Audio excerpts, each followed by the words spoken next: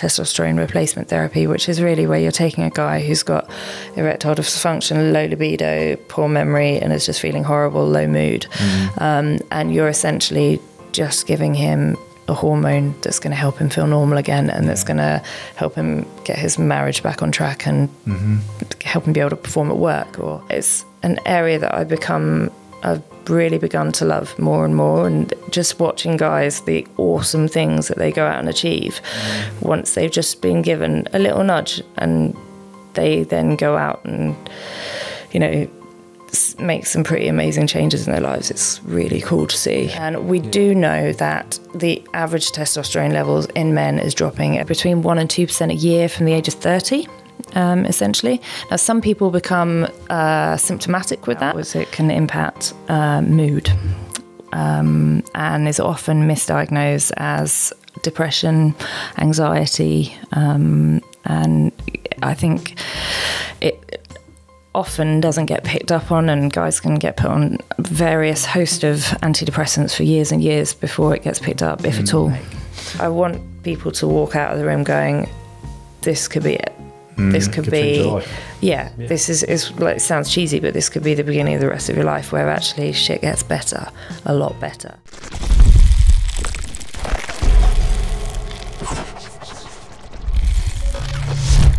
All right.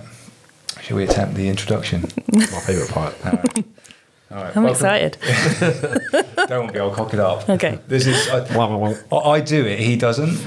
I refuse to. uh, Neither of us like doing it. I've just got a little, slightly bigger balls, I think. No, I- I think it's that you said I want to do an intro, and I said No, I, I, think would never do an intro. I said I are you not to be trusted is that what the point Yeah, is here I, I just is- couldn't. I, I just feel so awkward. I wouldn't be able to do Yeah. it. I, I feel awkward inside. right It's you fine. just hide it That's a good job. hide it That's a good job. Yeah. I'm trying. Yeah. All Much right. better. okay Okay, on that note, mm. let's. All right, welcome to the Everyday Perspective podcast. Today we're talking about male testosterone deficiency, its link to mental health, and how it can be treated. Today's guest is Dr. An- Dr. Angela Servis. Um, Angela is a GP with a specialist interest in men's health, spent 17 years in the British Army, and is the founder and medical director of Eden Health for Men. How are you? Thank you very much. Yeah, I'm very pleased to be here. Good, very very happy to have you. Um, we've talked loads about this being a topic that we wanted to cover for ages. Um, I think is one that's massively underserved um, and one that I think the NHS deal with very badly. Yeah, there's certainly some room for improvement, and I think generally, uh, you know, it's a really good opportunity to be here and hopefully be getting guys talking about it and getting them interested in it. So, yeah, hundred percent. Uh, so I guess you know we're aware of what testosterone is and, and why it's important, but some of our audience may not be. So that, let's start there. So can you tell us what testosterone is, what it does, why it's important? Yep. So um, testosterone is a hormone uh, that is common to men and women. Um, it's uh, present in much larger uh, levels in men, um, and when we when men have a deficiency in testosterone, it can cause a particular um, group of symptoms. They're all pretty vague, and testosterone deficiency often for men uh, comes about over a really protracted period of time, um, and can be quite insidious, really, in, in its onset. Um, and it can. I think one of the first things that you pointed out was it can impact uh, mood um, and is often misdiagnosed as depression, anxiety, um, and I think it often doesn't get picked up on, and guys can get put on various host of antidepressants for years and years before it gets picked up, if at all. Yeah, no, I think you're absolutely right, and you, you see it a lot now with um, obviously the female menopause, where historically that's been the same, isn't it? Where you've you know had a lot of females mistreated or misdiagnosed for depression hmm. when it was actually a hormone deficiency or an imbalance. And I think you know that's got getting a lot of traction now. But I feel like testosterone, which to some extent is I guess is can be a, a male menopause of sorts, maybe isn't getting as much you know attention. Would you agree? Yeah, absolutely. And I think it's been really fantastic for women's health um, of late. There's been a lot going on in the media, which has been really, really good. Um, and sometimes when the media decide to roll with something, it, it does, it can do real good things for, uh, particularly in the health sphere. Uh, and I think that's been fantastic for women's health. It really has. Um, women as a general rule as well, have much more touch points within the healthcare services throughout their lives. So uh, they will talk to the GP about periods, they'll talk about contraception, they will talk about, um, you know, it will be smears, breast checks, uh, it will then be pre and postnatal care as well.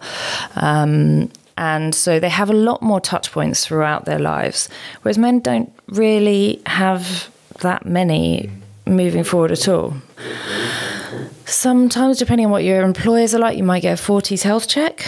Um, but apart from that, there's not many natural touch points uh, for guys to go in and see a GP. So they don't necessarily reflect much on their health, Hmm. particularly until something really goes wrong. Yeah, no, I think you're absolutely right. I'm, I'm, I'm the same. Like you say, I, I've yeah, barely been to the doctor about anything. And even when I am sick, you've got to drag me there kicking and screaming pretty Yeah, much. exactly so, that. Uh, so yeah, I really don't go very often. I think most guys are the same. And it's something that Will, who was the, the first GP that we saw on episode one, talked a lot about was that, that yeah, the reaching out for help, just guys don't do it. Yeah. Um, and I guess with, you know, thinking about sort of low mood and depression, um, you know, with that sort of thing, and I don't know if you're the same, but I think a lot of guys are, where if I'm in the down in the dumps and I've got a soul on, like, don't talk to me. Yeah. I don't want to talk to anybody about it. A bit like that today. Yeah, there you go. Um, and, and I think that's that's going to exacerbate the problem, isn't it? If someone's suffering from low mood, Yeah. they're going to be even less likely to go and speak to a doctor. Absolutely. And this is one of the most important things I think about testosterone deficiency, in that actually it prompts social withdrawal.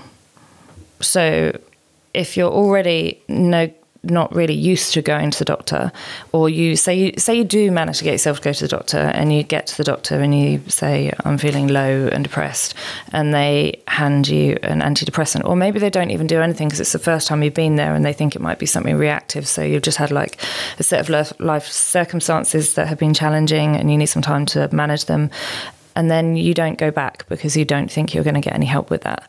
And and that in itself is an issue, but we know that testosterone deficiency will create social withdrawal, which will mean that you're less likely to reach out to your friends, never mind a doctor. Um, and if you don't know about the possibility of it being testosterone deficiency, you're not even going to be sitting there on your Reddit forums or, you know, on YouTube Yeah. or whatever other forums it is that you're reaching out to to find out what on earth it is that's going on. Yeah. Um, so I think that's that's another real big area where we can start putting information out to say, you know, it, this could be part of your part of your issue and something to sort of have a look into. And Yeah. What what age does do people start declining at? So we know that, well, we know that um, sort of between 1% and 2% a year from the age of 30, um, essentially. Now, some people become uh, symptomatic with that. Um, and when we say symptomatic, that could be um, lethargy, uh, low mood, anxiety, could be night sweats. Are these sounding familiar? um, it could be that your concentration's bad. It could be that you're getting evolving brain fog or you're getting poor memory. Um, and when I say these sounding familiar, it's because they're all very familiar with anybody who's been listening out to the HRT media stuff um, for women. So I think they tend to evolve over because it's a very gradual period, whereas a woman's um, uh, menopause tends to happen, not always, but tends to happen a little bit faster. So there's you can sort of compare it back to a year ago, but actually some of the guys that I see that have got significant testosterone deficiency will actually, when I ask them, say, when did you last feel normal for you? And sometimes you, they get this glassy stare and they'll look into the middle distance and be like, don't know, 10, 15 years ago. And it's because it's been such an insidious mission creep that actually it's taken a really long time for them to really hit a wall and think, I'm stuck now. Yeah. Help. Yeah, okay, mad. So yeah, quite important hormone then. Yeah, a little Yeah, bit. yeah, a little definitely. bit. Yeah. Cool. That's um. We'll, we'll- we'll go. We want to cover this in, in so much detail. Yeah. Um, and it'd be good to start with some statistics in a second as well. And before we do, though, we, we should probably add and congratulate you because you're actually the first female on our podcast. So well. Ah, I feel honoured to be here. and there's probably a few guys going, what, what, what's this about? What was the lads podcast? Yeah, exactly. Um, so I guess they'll be asking the obvious question as well. How does, uh, I guess, a female doctor, I guess, develop a specialist interest in men's health and testosterone? Yeah. How did that happen? So I guess I mean being a doctor in the army uh, for 17 years. Uh, saw a lot of male patients, um, particularly in the regiments that I ended up uh, just happened to serve with. A lot of them were teeth arm units, um, and there was there was my key patient who, bless him, I've asked him whether or not I've been able to discuss on various uh, platforms, and, and he's always been very comfortable with it. But essentially, first time I meet him, uh, incredibly gregarious, sort of alpha male, had a beautiful family, was uh, big rugby player. He walked into a room and you noticed it, and he was um, always getting in trouble, but talking his way out of it, and just you know a bit of a white boy, um, and just really enjoyed life. And yeah, he was very excitable and had loads of energy. Uh, fast forward just over ten years, and he I saw him on my clinic list and I was like, oh, this is going to be amazing. And I didn't even look at his notes before he came into the room. And uh, was expecting him to sort of bounce in the way he always did and thought he'd done sort of silly injury somewhere doing something ridiculous, usually under the influence of alcohol or something. And he sort of, I don't know, he just looked really miserable. He grey clouded into my office and plonked himself down on a chair, barely looked up to sort of say hi. And I was like, all right, how's it going? And I took a quick glance at his notes, thinking, is this the same guy? Uh, he'd gained weight. He had real sort of central um, obesity. Uh, shoulders were just folded forward. I looked back through his notes and did a quick skim back through, and there were three or four pages worth of different antidepressants, some lots of failed, like failure to attend appointments. Um, the mental health department had discharged him because he hadn't bothered going. Um, and he just looked utterly miserable. I looked back through his bloods, and you know, he'd had a thyroid checked. He was pre-diabetic at this point. Um, didn't look like he'd seen the inside of a gym for a long time, which was very surprising because he was always really keen in his phys. Um, and I could barely get eye contact with him. And it was heartbreaking. It was just really sad. And I sort of asked him about how his wife was and how his kids were and he was he always got this like real sparkle in his eye when he spoke about his family. And he just said things weren't very going very well at home. And again this was really surprising. And i was like what, you know he was in he wasn't even in uniform which again was odd. Um, and i noticed his rank. And he didn't look like he's progressed as far as i was expecting him to. And i didn't really know what to do with him. Yeah. i was a bit stuck. And i did what all good GPs do, which was uh, buy myself a little bit of time by saying, should we do some more bloods? And on a complete whim, I tagged on a testosterone onto the end of it. I didn't do anything else, I just did a total testosterone. Didn't even really know much about free testosterone at that point.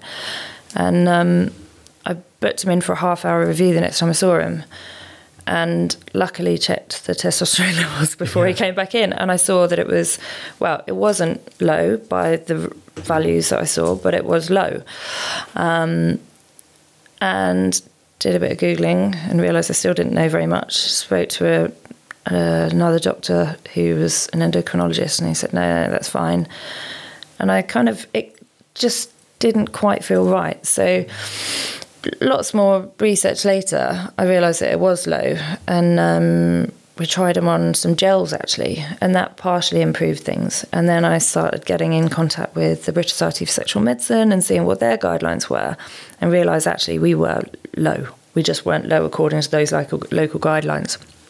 Um, and fast forward on, he ended up receiving more treatment than that, and uh, ended up leaving the military and became or got treated by a civilian uh, men's health clinic after that and did significantly better.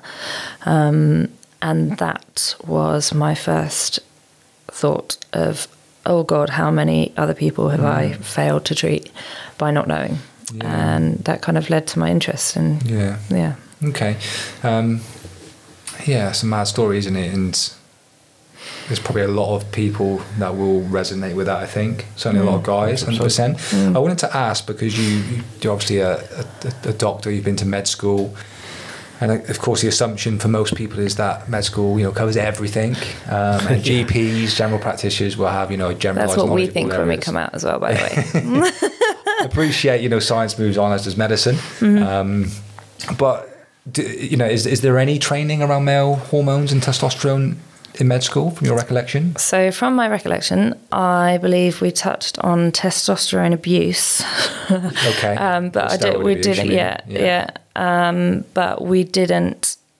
I have no recollection whatsoever of doing anything to do with the the natural decrease or what we're seeing more the accelerated decrease in uh, testosterone and just in testosterone deficiency in men. No. Yeah. Um, and and that said, the same was in G even later on in my training in GP uh, training as well, um, and so I.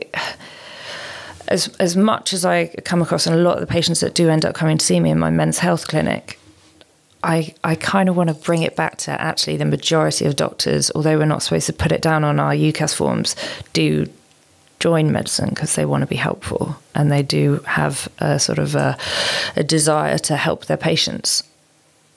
But if they're not given that information, that education at any stage in their in their training, it's really hard for them to do so.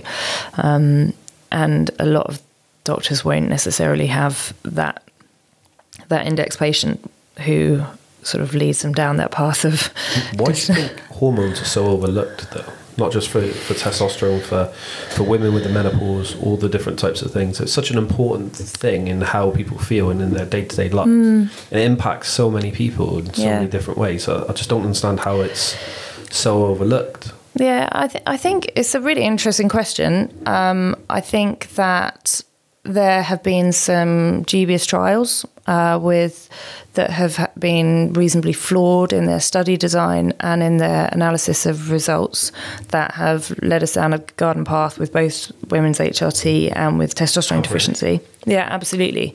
Um, and I think certainly uh, we took a real back step with regards to some perceived risks with women's HRT and malignancies, breast and ovarian malignancies. And I think similarly, there have been other findings with um, men's testosterone replacement therapy. Um, and even, I mean, uh, uh, the Americans have had black box warnings put on testosterone containing treatments uh, with regards to yeah with regards to um, cardiovascular complications and prostate cancer uh, as well. And I think I think historically I think it was maybe the 1930s that we were looking at having exogenous testosterone available for patients and that people actually saw that it was very good for uh, men with low mood, particularly. That was one of the earlier uh, earlier findings, um, and there were various sort of progressions and then regressions in uh, its uh, introduction into mainstream medicine. Um, and medicine moves pretty slowly when it comes to um, progression in some forms. Um, Is it because they got to be careful? Uh, like- even more so now, which is good and useful for, for everybody involved. But there's a lot of red tape in bringing out and developing new drugs, uh, and also in getting drugs approved by big organisations. Uh, like NICE, and there's the phenomenal eye-watering amount of funding that's required to get uh, medications and drugs approved uh, to get put onto guidelines and formularies. Um, even basic drugs that we know we know are safe, if they're not approved by formularies, then GPs aren't at liberty to prescribe them uh, in ways that might be optimal. Yeah, it's what Ed was talking about, wasn't it, with the trials? That's what I was going to say. Yeah, we had that on another one. Yeah, that's what Yeah. I said. Yeah, he said Yeah. it was kind of like times it costs so much that they, they feel like it's never going to get done. Yeah, Yeah. and it, You know? it makes me think of um, I saw uh, Aseem Malhotra was on Joe Rogan's podcast recently talking about sort of cardiac disease and the vaccine, which we won't get into because Yeah. it's uh, definitely a bit Oh, dicey. But Yeah. but you know, I think he he basically made the point around you know when you are working in medicine, you know there, there is definitely definitely a reputational risk of going a bit too bold with your uh, your thoughts on stuff as well. So I guess there's that to consider as well, isn't there? Yeah. Yeah. Okay. Um, so statistic wise, then, so I'd be interested to hear a little bit about, I guess, some of the numbers if if you happen to know them. Um, so I guess first of all, you mentioned a second ago around sort of. Um, I forget exactly what you said. I've got halfway to, to writing it down. It was, it was, I think, the ranges from the sexual Um, uh, what did you? Who did you say you approached with the uh, the gentleman that you were treating? Oh, so yeah, so the British Society for Sexual Medicine. Yeah. So you said Yeah. their, their numbers versus local numbers were a little bit different. I think you mentioned. Yeah. So so what what's normal, and I guess who do we you know who do we listen to? Yeah, so um, it depends. So lab laboratory ranges across the country um, are different, and the reason being that they uh, will take the whole population of people that they're testing, um, so the adult male population from 18 to however old, um, and they will look at testosterone levels that are checked and they'll get rid of the bottom 5% as abnormal and get rid of the top 5% and then whatever is in the middle. Um, now, the difficulty with that is that 88 year old Bob, who's just finished a course of chemo, um, will be in the same bag as 18 year old James, who has not and is feeling fine and you know, and they'll get sort of lumped into the same. So the it, it doesn't really give a very specific um, population size really to be comparing, um, and it doesn't really take into account whether or not someone's just been really ill, or whether or not they're fit and well, or what their age is. And clearly, um, you don't really want to be lumped in if you're 18 year old James, then you don't really want to be in the same category as Bob, um, which is kind of yeah is really key. Um, but equally, we don't really know how different things should look from person to person, and we don't really have very good stats on that or facts and figures. Um, and I think we're a long way off that. I'm guessing different people can have different ranges that are natural to them. Yeah. so some people might function better at 20, Yeah. and then other people might function fine at 10. Yeah. Yeah, is that a thing? Yeah. Yeah, and then they just change from that. So the notice might be that they go from 20 to 12, and then in that time they feel like crap when they're at 12.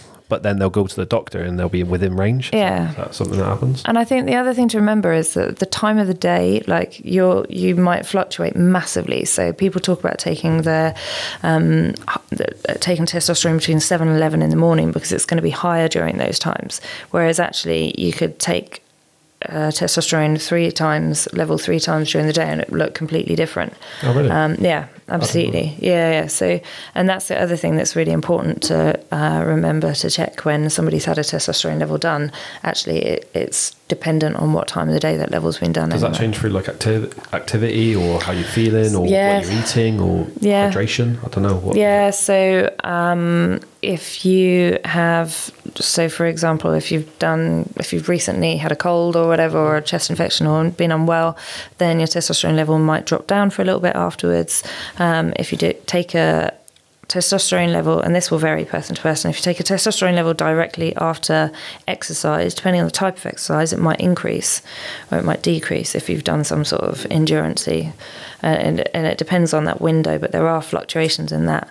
So there, there's lots of different things that it's dependent on, um, and you know that's it. Just adds another variable to make it really not that straightforward for a GP to be managing it in primary care. Partly because actually they then need to be, you know, committing to timeframes and everything to be taking those. Um, those levels in as well, and if someone's coming in already saying that they feel unwell and generally ropey and run down, um, and then you're adding in a, a specific time frame to be taking that testosterone level. It's, it's you know it's it's an extra barrier. Mm. Yeah, definitely. So, so what officially? What is the range in the UK? So the British Society for Sexual Medicine um, and these guidelines were were brought about by an international consensus of experts, and they were andrologists, urologists, endocrinologists, GPs, um, and they got lots of doctors to sit down in a room and agree about something, which doesn't often happen. But they did this, um, and the guidelines that uh, the the British Society for Sexual Medicine came back with um, were basically saying that anybody with a total testosterone below 12 and symptoms, and the symptoms were um, low libido, erectile dysfunction, um, and they wouldn't need to have all of them, but low, you know, from the list of low libido, erectile dysfunction, brain fog, poor memory. Um, speaking of which, It's just late in the day. we'll you. uh, yeah, poor memory, um, and it could be a selection of any one of those. Um, and they could be considered for a trial of treatment essentially, or free testosterone 0. Point, uh, below 0.22. So I think the um, important thing in remembering that is making sure that the blood test is taken at the appropriate time of day, not taken after a night shift as well, um, which uh, which can change things as well, sort of extreme fatigue, um, uh, and sort of making sure that it's taken in a in you know when there haven't been other reasons for them to have a low testosterone levels, and that might be sort of high alcohol intake, um, or particular drugs, uh, including things like opiates and things like that. So chronic pain patients can sometimes have a different, slightly different picture as well. Yeah. Okay. So, yeah. Does I know you mentioned that there was a, an international consensus that came up with Mm. that range. Is it different in the states? Because, and again, I'm no expert, but just looking around this loosely, it, it, it looks like they're a little bit more forward thinking and and seem to. The treatment is a lot easier there. I don't know if it's because it's primarily private health. That's literally what I was about to say. Pri- private Yeah. healthcare Yeah, it is. But is, is the range different or is it the same in the US as well? Um, I don't know. So I think from practitioner to practitioner, from from my understanding, and um, no doubt the guys are going to be sort of uh, concerned about this, but from practitioner to practitioner, there does seem to be a little bit. There does seem to be more variation. I think that the healthcare model in the states is different in that. Um, it's private, so it's patient driven um, more than anything else. You know, then then less having to be cautious of their budget. However, that being patient driven does, however, mean that they also need to be able to decide whether or not how much of this is being set by the insurance companies because some insurance companies won't cover um, for testosterone replacement therapy and that means that it's then being that makes it super expensive for the patient um, and sometimes um, not really achievable to that large groups of people. But it, I know that it does change from state to state and I don't know I wouldn't be able to uh, reel off what their treatment levels were but I it, it feels from um, my brief time in the States, and I went to a um, conference over there last year at the International uh, uh, Society for Sexual Medicine over in Miami. Um, just after going to another um, teach from some of the uh, other andrologists and Ali Gilbert, um, it does feel a lot more socially acceptable over there and better known about. Um, yeah, and they're they're much more comfortable with the term of testosterone optimization versus testosterone replacement and treating a deficiency, um, and they're a lot more comfortable with discussing anti-aging medication um, rather than just treating deficiency, which is very much the zone that we're in in the UK. Yeah. Okay. Perfect. Um, and sorry, just to clarify, you, you, you mentioned we mentioned the range a second ago. So you said it was under twelve with symptoms. yeah. Um, but the range, the, the full range, is it? I think it's eight to thirty, somewhere around there. Is that right? Um, the range, what as in where to keep them within, where to yeah, keep people what's within. considered Like the? NHS. Yeah. So yeah, I mean, I I think I've seen cut-offs at 25 Yeah. for normal, so Yeah. 8 to 25. Um, I think some of the men's health clinics will treat to 40, 45. Okay. Um, that high. Yeah, some. this is half the problem, right? Isn't it? It just like yeah, you say. but yeah, but and this is yeah, but again, I think in the states they would probably treat around that level, maybe higher. Yeah. Okay. So it's, it's quite quite a broad range then, and as you say, a little bit of variability, which Yeah, and I think this is where we need to be careful. And this is again, it's just one of those like yawn responses of more research required, um, because actually, where you start drifting into super physiological, as in higher than as normal physiological uh, would normally uh, exist in normal physiology. Um, that's where potentially there you can have complications, and I think that's you know maintaining safety while while um, looking after someone's symptoms and making sure that you're you're making them you're getting those symptoms controlled and you're restoring them uh, to where they should be is what's really important. Uh, I think a lot of the complications that some doctors will have seen uh, previously might have been actually they're sort of superimposing what they've seen with people who've been using anabolic steroids and stacking or cycling and doing crazy high doses, which is really different to what you'd be looking at with regards to testosterone replacement therapy, which is really where you're taking a guy who's got erectile dysfunction, low libido, poor memory, and is just feeling horrible, low mood. Mm. Um, and you're essentially just giving him a hormone that's going to help him feel normal again and yeah. that's going to help him get his marriage back on track and mm-hmm. help him be able to perform at work or get a job again. Yeah, yeah, you know, definitely. just some just some basics. yeah, okay. yeah. Um, um, all right, Vicky, thank you. Um, and I, I, I, feel like you. I think you're probably going to say you're not sure on this because I think you've kind of already covered it. But mm. do we know how many men like are, are estimated to be deficient? Not sure. Next. Yeah, no. Okay. No.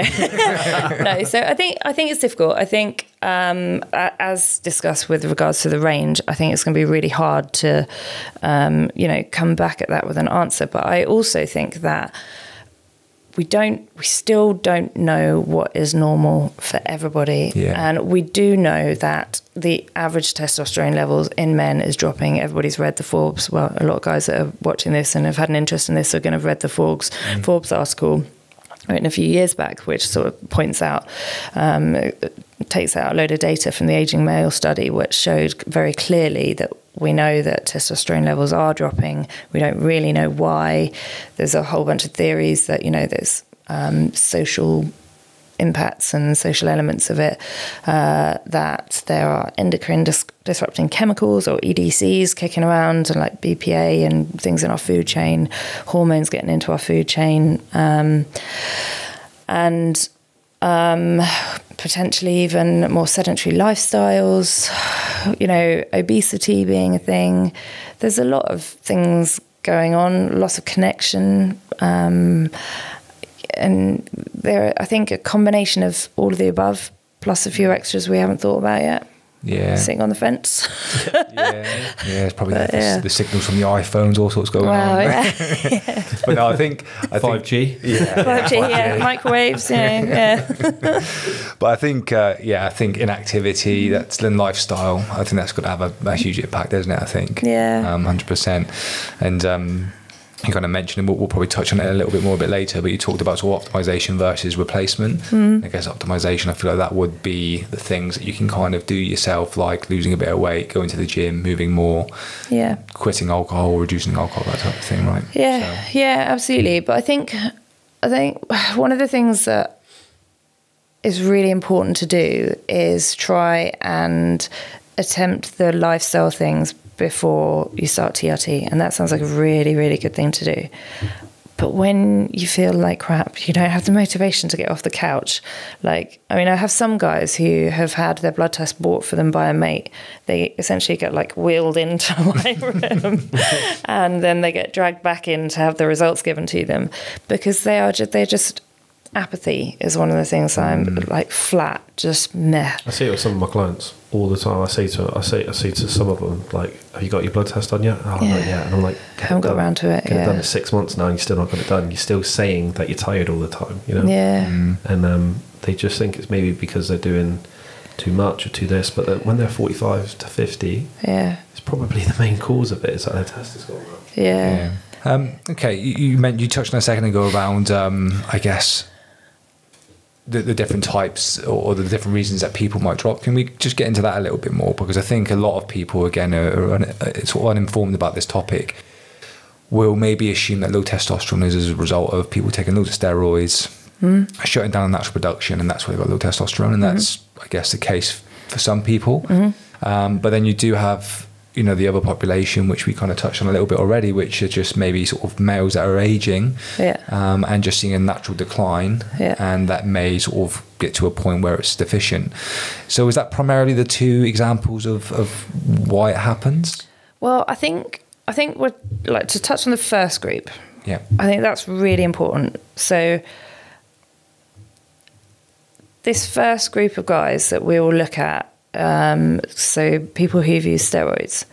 I think one of the things that we need to look at is why have they used steroids, and that's this is going to sound really like GP and a little bit fluffy, but actually for some guys, one of the things that we talk about loads when you talk about um, females and social media exposure and you know filters and isn't it really tough for them having you know these unrealistic expectations on unrealistic goals um, physical goals and everything to to sort of go up against but we don't do that for our guys and actually like our era we're growing up on like terminator and all the cool arnie movies um, and you know there's there's a little bit of that so i think it's an interesting topic to bring out, and steroids, because of the internet, are becoming more and more available.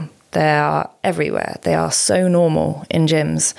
Um, the information on what potentially the long term side effects are isn't really out there. Um, and I think a lot of guys just see the cool results that some people get, um, and some people get away with it. And other people will have done one cycle and then their life just went crash after that. They didn't necessarily associate it with the cycle, um, but they then sort of became a bit of an introvert. They went from being quite, you know, getting along quite well and having quite a good social group to becoming more and more introverted and socially disconnected. And then life changed for them. Their career progression changed, their relationships changed, their intimate relationships changed, family relationships. And it all just kind of went off pop and sometimes they don't even they'll come to me 10 years after that event and they won't even associate that change with them with that with that life event mm. um, and sometimes they'll have been sort of nudged to go and have a look and then when i ask them about steroid use they'll say you know oh yeah but i didn't i don't think it was that much of a problem it was only really brief use and it's like well when did your symptoms start uh, about six months after I stopped that. mm, okay. um, but I, I, think, I mean, I don't know, certainly as a parent, that would be one of the things that, from a protective point of view, it's a conversation that you can have early. Um, and the vis- visual benefits of taking steroids for young guys can be seen really obviously, but the dangers of them, like I mean, it's like anytime you're taking drugs, um, the dangers don't seem so apparent right there and then, but it looks really cool being that jacked in a gym and being able to lift it all up. if, they, if they just test, though, mm-hmm. even if they are, say they're like 25, been training for five years, uh-huh. wanting to take steroids, would mm-hmm. just taking a bit of extra testosterone be the safest form of uh, uh, you don't really know what you're taking. There is a really good, I'm not going to be able to tell you what it is, uh, study that had, it was like uh, meta-analysis where they took five and a half thousand steroid samples from gyms, and um, the stuff they found in there wasn't really what it was. I was about to say, yeah, I've seen that before. Yeah, yeah, it, it, was it was all sorts in there, wasn't it? Yeah, all sorts of chaos, but not what you were expecting. And I think I think that's one thing that I would say with that. But the other thing is that what the guy in the gym is going to tell you that is a little bit of testosterone. Yeah. Often isn't a little bit of testosterone. Yeah. But the other thing is that we don't, and there obviously haven't been many controlled studies trying to figure out um, what a little bit of test looks like in the gym. But also, there seem to be some people that will do or say that they've done a cycle uh, and then come never really come back from it. And we don't we don't know why there is that some people just can do it for 10, 15 years, come off it, and then drift back up to their normal 22, 25, whatever. Yeah. Um, I was having this discussion recently with someone. They were saying that you can do tests for a little bit, and then you, your, your, your system will definitely come back. And I was saying, no, it doesn't. And they were like, well, I was told it does. And I'm like, well, are you being told by because they're a fucking idiot? Like, well, yeah.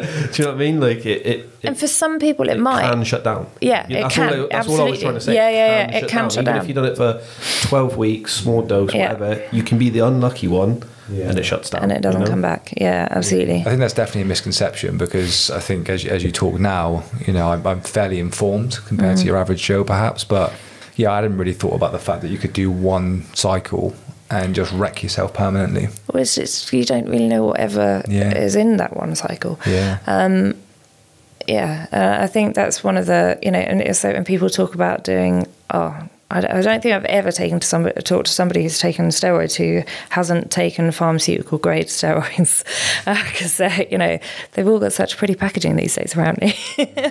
um, but I yeah I think it's it's just knowing and understanding the risks. Um, but actually, often if they're if they're truly about it for training gains and things like that, if you ask them whether or not they cleaned up their lifestyle and done all the other things that they can do to optimize training, like the boring stuff, like the sleep hygiene Stuff that takes and time. the dietary Absolutely stuff. not. And uh, what do you mean cut out? Yeah, drink the water, cut out you getting three litres alcohol. Yeah, you're going to kick me out in a second, aren't you? um, but yeah, so I think those I think those things are they're just less sexy to talk about, and it's you know I, it's, I, I call it the fundamentals. Just Yeah. fundamentals. The, Yeah. the things that oh, you do them, then that's Yeah. that's a good base. Yeah. yeah. but it's like we've talked about loads, and everyone's looking for a fucking shortcut these days, and Yeah. they don't want to put the put the long long yards in first before trying these things. But yeah, it's it's a yeah it's a, it's a really no, notable point I think about just you don't don't know what you're getting, and I think a lot of people will assume they can do it like a, a PCT or a post course therapy treatment, um, and you know what is it Clomid is that what they take? Yeah, bang that in and. Bob's your uncle, they're sorted, but could be anything, right? As you say. yeah, Yeah. Okay. absolutely. Yeah. So then we got the other the other half. Then the unlucky ones who maybe haven't had uh, you know made these choices in their life, but just naturally start seeing Yeah. decline. So talk to me about those guys. Yeah. Yeah, so sometimes it can be these can be the guys with the mission creep testosterone levels that are just drifting off down. Um, they tend to be the ones who've uh, sort of thought about it, thought about, thought about it, and um, all of a sudden, ten years has gone by, and you know it, there'll be usually some catalyst into action. It might be um, being unable to work or breakdown of the family home. Um, that one's always really heartbreaking because often, you know, sometimes by the time they get to me, that's kind of irretrievable. Um, and they can have really, really positive. I mean, both camp, both camps can, but they can have really positive um, effects from taking testosterone retherapy placement. Uh, the time frames for it improving uh, can vary, and you get sort of some people who a week later are going. I can feel it working. This is brilliant. It's fantastic. And then other guys that are like sat at three months going, Doc, are you, are you serious? like, what the fuck? I still haven't got a six pack, or you know, I'm still feeling really low, or um, really low mood, or sometimes people get a bit anxious first up um, for the first few weeks, um, and that can kick around for a bit, and that can be a bit of a kick in the nuts when you've been feeling really low, and you kind of think you found, yeah, literally, and you kind of think you found like the ultimate solution and you want this all to because you've worked so hard and you've finally got there and you've finally got someone who's prepared to prescribe you testosterone and there you are anxious and more emotional and you know. And I, I think sometimes the sort of emotional journey getting onto TRT can mean that you kind of want it to happen overnight and it, it doesn't always. Sometimes it does. But also there's the other bit in that like trt is just like me handing you a toolkit. And you like you leave it in the box on the corner and it's not going to do it for you. That again it comes back to the boring stuff of sleep hygiene. It, you need to do like look reflect in a little bit because you're being given the mental clarity to be able to do that mm. and start thinking about you know what are your goals? Where are you aiming for? Um, what do you want to happen? Where are you are you managing to do any meditation? And um, you know for some people that could be breath work for, you know and starting slow.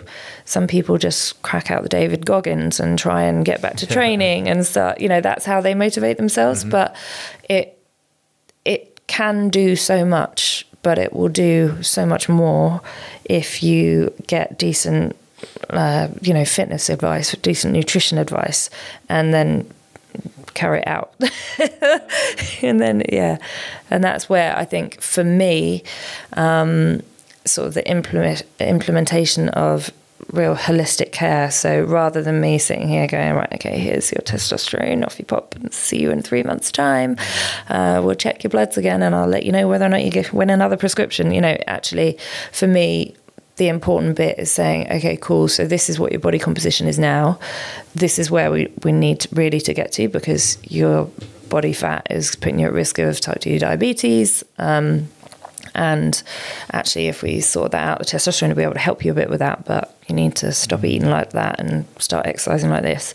Um, and I think that's something again in the NHS we don't we just don't have and it's you know God save our NHS but we just don't have the resources a lot of the time to do that. And you'll know that in your line of work. Mm-hmm. um, and you know being able to sort of give people hopefully a bit of motivation to be able to sort of look into that side of things as well yeah. I think it's really important. Yeah, definitely. Yeah. No it's, it's a good point I think isn't it? Because we you know we've, we've said it's treating deficiency. So you know, we're correcting that deficiency, which, which is ultimately bringing somebody back to a normal level, mm. and then people with a normal level will still need to then put the work in yeah. to, to improve other aspects of their health mm. as well.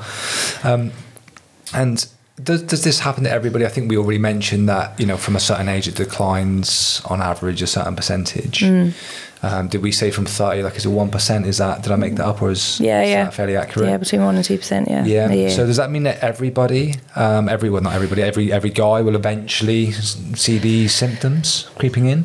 Um, not necessarily. And I think it's dangerous to say that you need to normalize the acceptance of those symptoms. Um, I think another study, or there have been a few studies that have shown that actually having um, even if you feel symptom free and your testosterone levels are low, then actually there it does reduce cardiovascular risk factor by putting it into the back into the normal range. And I think that's a really interesting concept that will make a lot of doctors nervous as well. Because actually, if you're saying, "Well, hang on a sec, we're now treating these guys that are feeling fine," but if we're reducing bone mineral density and we are increasing cardiovascular risk by having low testosterone, and we're increasing the likelihood of developing type 2 diabetes. By treating with testosterone, we are reducing so many different types, mm. so many different causes of mortality.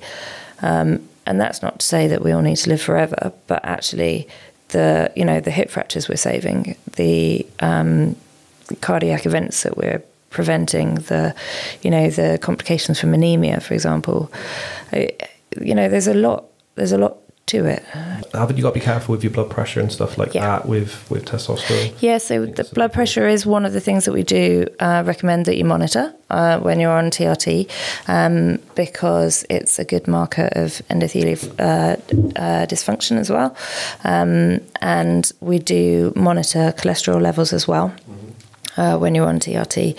Um, and I think sort of but like I said, going back to that point, normalizing um, testosterone levels is protective in both those spheres anyway. Yeah. Um, and I think one of the reasons that we look at, and one of the things that I'm cautious about, sort of normalizing progression of those symptoms, particularly with things like erectile dysfunction. Yeah. Um, actually, erectile dysfunction as a GP is a really good opportunistic moment because it is one of the few things that guys will go to the doctor about if something goes wrong there. that, that that might bring them in. Yeah. Although now what I'm really concerned about is things like Viagra and Cialis or Sildenafil. Mm. They're so available online.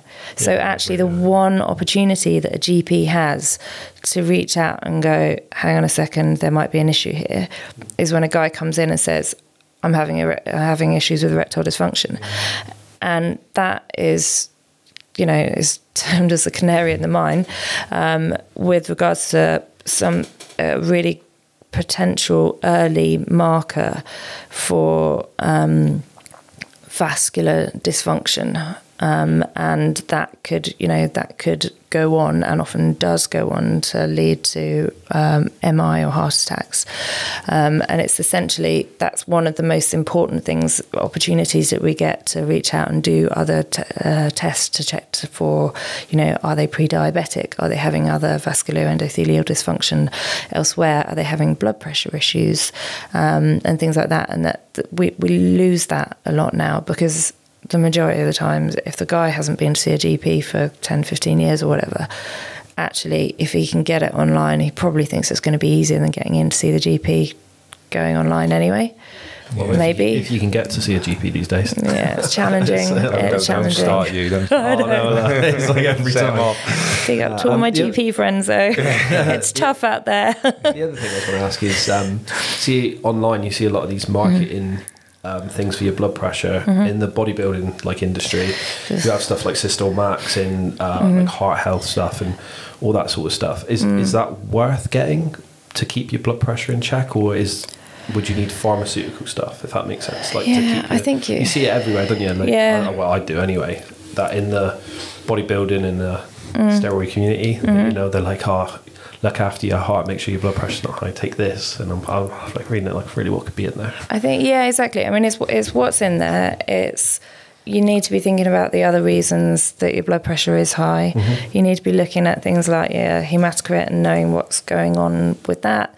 You need to be looking at are there other um, is there other vascular dysfunction going on as well? Um, and actually, if there is other vascular dysfunction, then you just need to know there is what the other causes are um, and whether or not you've got other risk factors.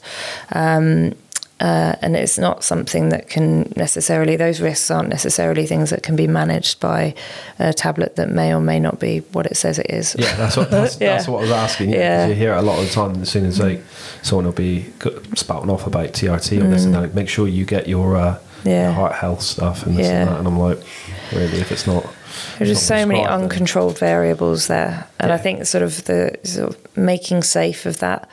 It's just hard to know where to start, and I think that partly comes from the polypharmacy or poly. I don't even want to call it pharmacy, but poly not sure what you're taking a C. Is that a Yeah. new a new phrase just coined tonight? yeah, there we go. So we've trademarked it now. yeah, done. yeah.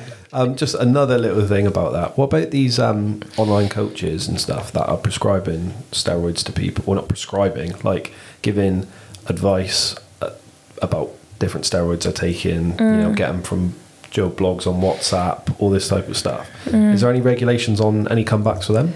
No, of course not.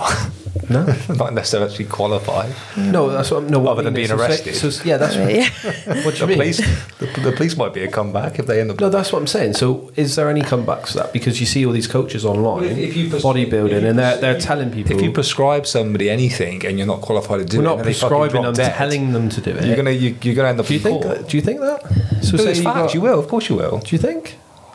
So if- Honestly, don't. I'm gonna live this to you guys. Here, like, you guys are having fun here. No, being serious. Like you know, you got like your online coach who's maybe like a PT, and he's say, saying to people, "Oh, I Mate, take if- this if- much test, If, your this if, much if stuff." your missus got an online coach, Yeah. and he he told her that she needs to get on some gear, Yeah. and then she dropped dead, right? you'd fucking sue him, wouldn't you? You, you I, I, the, what I'm asking is, could you? Oh. That's what I mean. Yeah. Do That was my really grown up answer. No, 'cause I've but- I mean, I know. it wouldn't I've be seen, I've seen all these cunts everywhere, and that's what I'll call them, saying, "Take this, do that, blah blah blah. Take you know this Yeah. shit, that shit, whatever." And I'm thinking, how the fuck are they getting away with it? But there's no account. I don't know if there's, There's- any accountability if you don't have a governing body. That's what I I'm mean. saying. It's not is a good there plan. any, like- just not a good plan. Yeah. No. Yeah, I mean, Don't. For, yeah, for anybody listening, Yeah. you know, we're sat here with a, a sort of, a, you know, a educated, qualified, insured, you know, general Yeah, practitioner, GP do, doing doing this, and yeah, anybody that's well, anything not, less yeah, than that yeah. should not be prescribing fucking steroids. 100%, yeah. But, you know, most steroids are illegal, full stop, anyway, mate. But um, but yeah, I mean, there's a reason PTs have insurance. It's liability, Yeah. um, and you can get insurance to prescribe steroids to people. So. I think prescribe was the wrong word. What I I'm saying was, it's like you know, you know, they are they are giving out this fucking advice all the If, time. if aren't I was you, I'd take steroids. Yeah. Yeah. But I think I think though one I think one of the interesting points from this though is that there is a hell of a lot of advice and forums and things like that kicking out a lot more accessible information than you might be getting from clinicians because it is more available to you in your um, when you're reading about this stuff at night. And actually, there isn't very much information being put out from the medical sphere about what is and isn't safe. And actually, sometimes when people go in uh, and I've I felt reasonably undereducated in the past when someone's come in and given me like the list of things that they'd taken in the past, and I go, I'm just gonna give me give me five minutes for Google there, and and I'm I'm Yeah. often pretty straightforward with patients who have come in and said this is what I've taken. And I said I d- haven't heard of a lot of these things. Uh, can you talk me through them? And actually, it, it's interesting going off, you know, what they've said. Um, and so many of these things have got multiple different names according to what country that they've come from, or you know.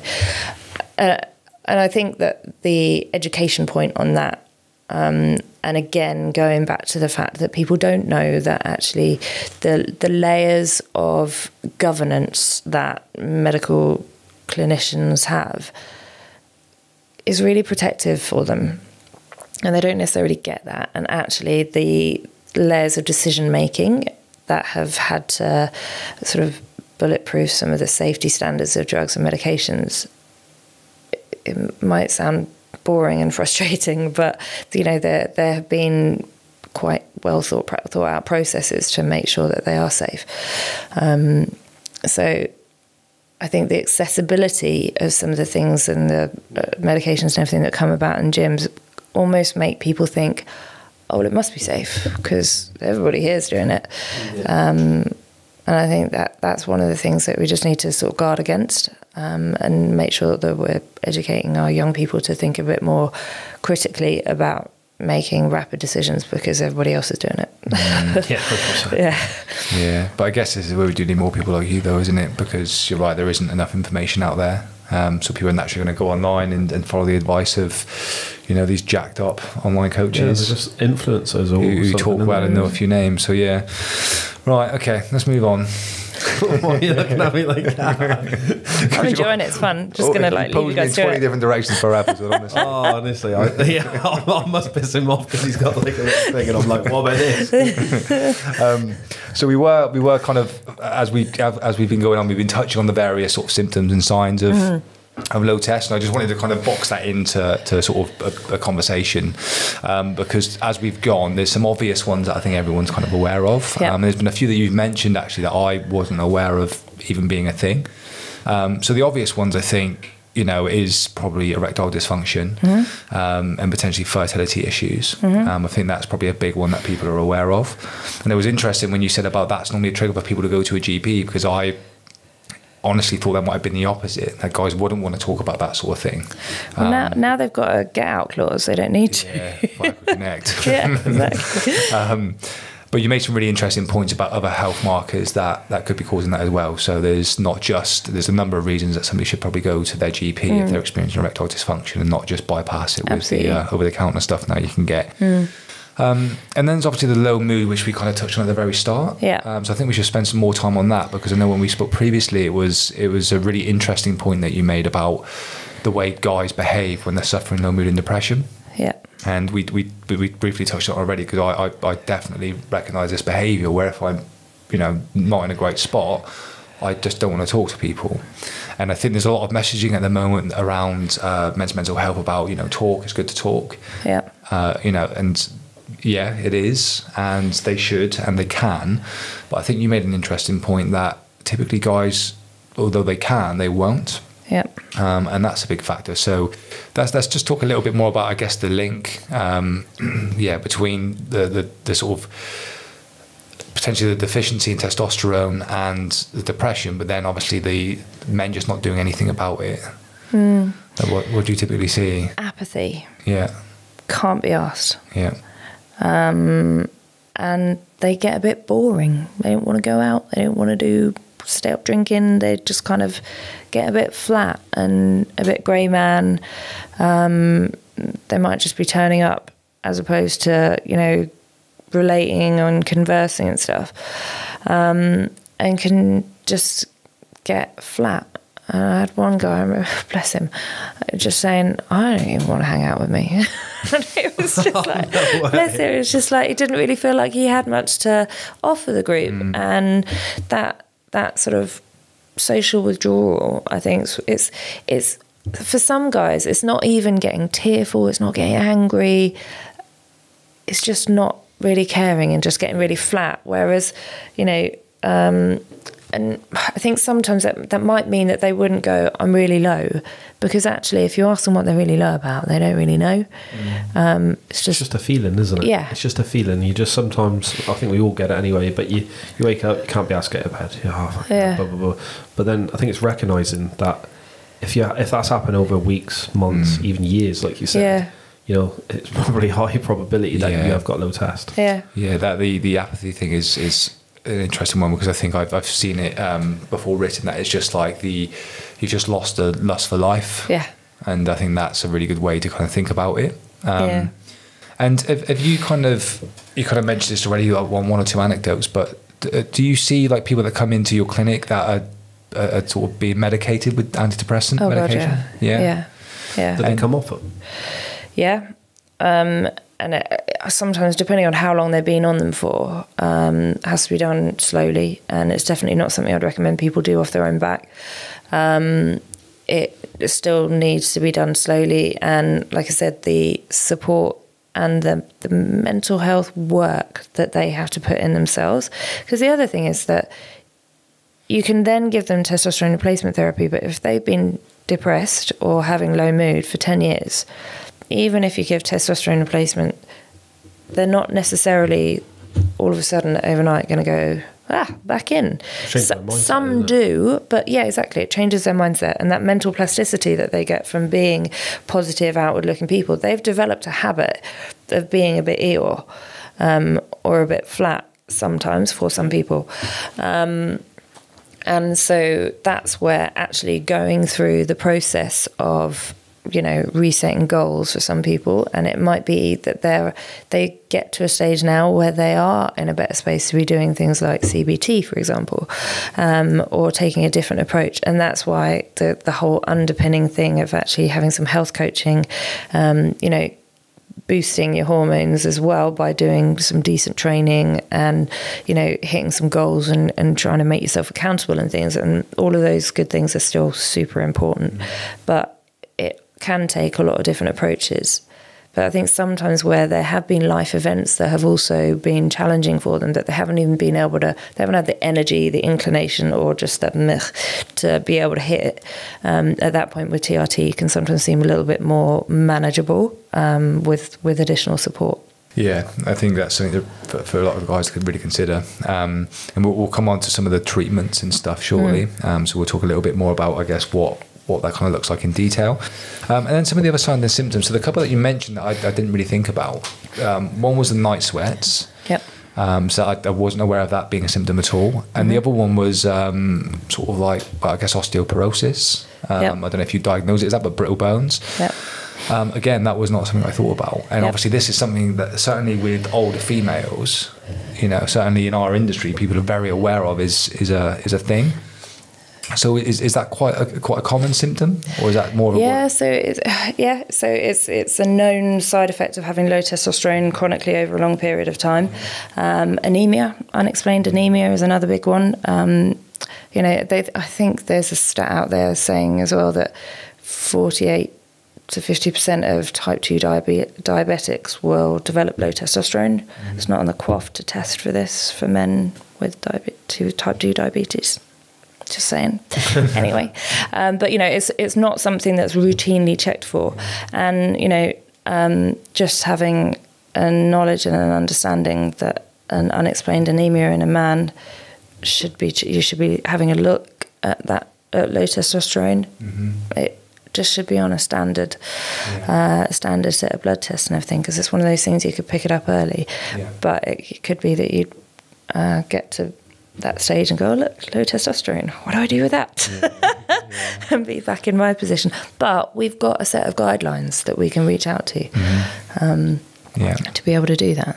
And then the night sweats. Um, is that like is that an acute thing or is that chronic? I mean, I know with the menopause, often that people refer to it as going for the, the change, right? Mhm, So yeah. that's that, that suggests it's kind of Hormonal fluctuations overnight. Yeah. Yeah. So is- is- how- how's that it's exactly the same process. Yeah. Yeah, Yeah. okay. And sometimes it can be chronic. Sometimes it can be acute. Um, and I, I had one guy who didn't actually mention it, and it was probably my history taking that omitted to, to, to check with it. But I'd seen his testosterone levels and thought, oh, and uh, yeah, and he started on TRT and did really well. We did weight management stuff with him as well, actually, um, and he did really well. And he said, oh.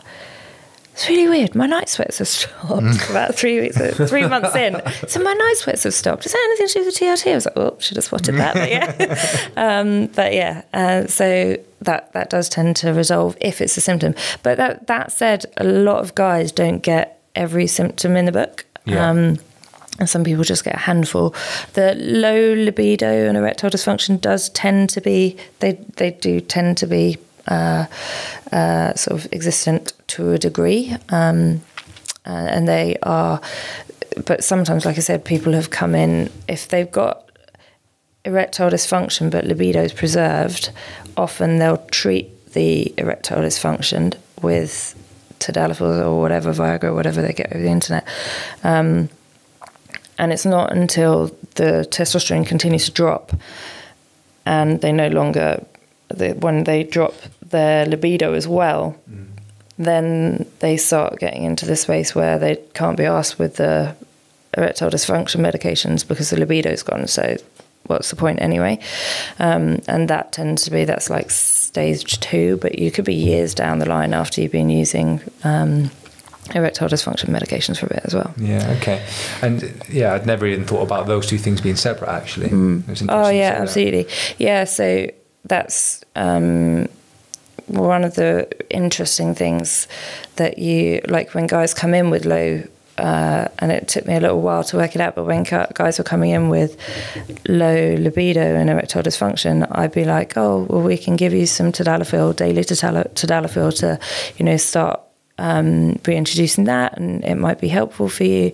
He was like, "I'm absolutely not fussed about that." I was like, oh yeah so, but and that is when you because I mean tadalafil is very protective for various other reasons because it's actually helping uh, reduce vascular inflammation, which is one of the mechanisms by which it helps improves uh, uh, erectile function.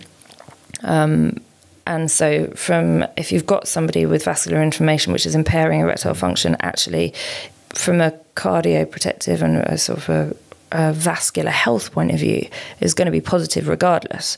And so, me with Doctor Mind On is going, ah, this is what you need. And it's like, "Mm, no, thank you, not interested at all until you've increased the testosterone levels enough that the libido has improved. Yeah, okay. Oh, yeah. And then um, things like testicular atrophy, so ball shrinkage for those who uh, don't know what I'm talking about. Yep, yep. Um, is that something that you typically see? Um, you know, so obviously it's it's fairly prevalent, I think, with steroid users. But Yep. for, for these normal chaps who are just declining, is that something? Is that a potential symptom sign as well? So it can be. Um, often it happens so slowly they won't necessarily notice it.